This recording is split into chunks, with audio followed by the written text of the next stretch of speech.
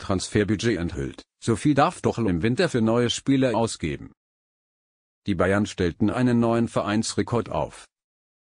Indem sie während der Sommertransferperiode mehr als 150 Millionen Euro für Neuverpflichtungen ausgab.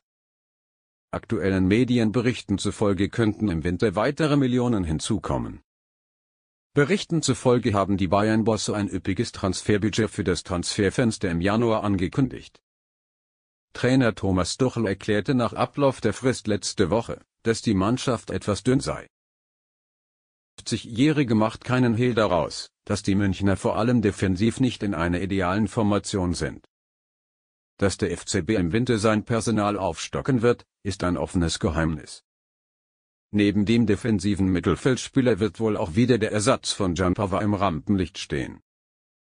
Bayern München sei bereit, im Winter 70 Millionen Euro für Neuverpflichtungen auszugeben und die bestehende Mannschaftsbaustelle zu schließen, berichtet Bildfußballchef Christian Volk.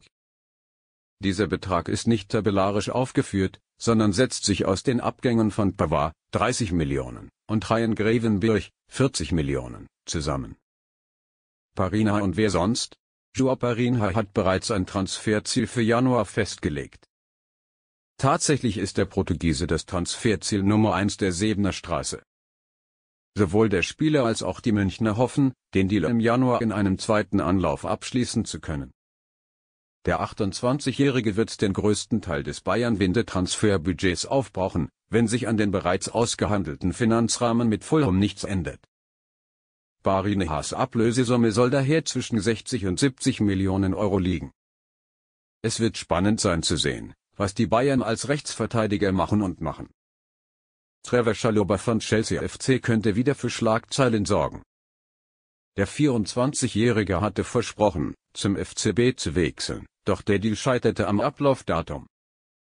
Die FB-Youngster Amel Vera Kokap steht nicht mehr zur Verfügung. Der Verteidiger wechselte am Ende der Saisons auf Leihbasis vom FC Southampton zum PSV Eindhoven.